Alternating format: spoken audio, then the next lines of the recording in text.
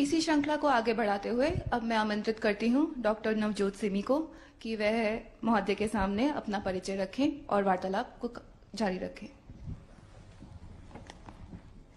जय हिंद श्रीमान। मेरा नाम नवजोत सिमी है। मैं पंजाब के गुरदासपुर ज़िले से हूँ और मुझे बिहार कार्डर आवंटित हुआ है। सर, मैंने डेंटल सर्जरी में स्नातक की डिग्री लुधियाना से की है। मेरी डिस्ट्रिक्ट ट्रेनिंग पटना में हुई और इसी दौरान महिला पुलिस कर्मचारियों की बढ़ती संख्या साहस और प्रेरणा से मैं काफ़ी उत्साहित हुई। जय हिंद श्रीमान। नवजोत जी आपने तो लोगों को दांत दर्द से राहत दिलाने के लिए दांतों की सेहत ठीक करने का जिम्मा उठाया था। ऐसे में देश के दुश्मनों के दांत खट्टे करने का रास्ता आपने क्यों चुना? सर मैं सिविल सर्विसेज़ की तरफ़ सर मेरा झुकाव काफ़ी पहले से ही था। और सर एक डॉक्टर का काम और एक पुलिस का काम भी लोगों की पीड़ा को दूर करना ही होता है सर। तो सर मुझे लगा कि मैं सिविल uh, सर्विसेज़ के माध्यम से और भी एक बड़े प्लेटफॉर्म पर रहकर लोगों की समस्याओं के समाधान में अपना योगदान दे सकती हूँ। आपने पुलिस फोर्स ज्वाइन की है तो ये सिर्फ़ आपके लिए ही नहीं देश में बेटियों की नई पीढ़ी को भी प्रेरित करने वाली है।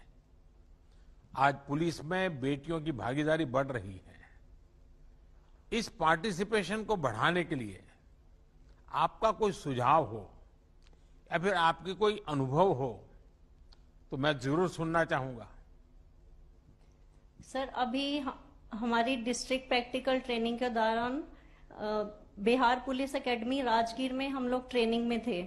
सर, वहाँ पर विमेन कॉन्स्टेबल्स का एक बहुत ही बड़ा बैच था। उनके साथ इंटरेक्शन करने का मुझे मौका मिला। तो सर, मैं इतनी ज़्यादा उत्साहित हुई कि वो सब लड़कियाँ आगे पढ़कर बहुत कुछ बनना चाहती थी। सर, वो बहुत ज़्यादा ऑलरेडी ही मोटिवेटेड थी। तो सर, मुझे बहुत अच्छा लगा और मैंने ये सोचा कि जब भी मैं अपने कार्य में, अपने फ़ील्ड में जाऊँगी तो महिलाओं के लिए मैं ज़रूर कुछ करूँगी ताकि उनकी एजुकेशन में स्पेसिफिकली कोई कमी ना आ सके सर जिस, जैसा भी हो सका, मैं उनके लिए ज़रूर कुछ करूँगी।